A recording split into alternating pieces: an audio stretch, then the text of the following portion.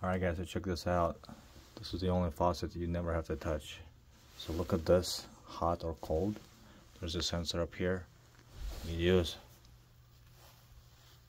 Boom, it's cold water flowing. Hot water flowing. What do you guys think?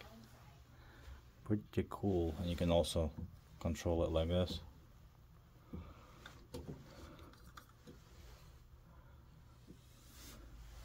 And then you stop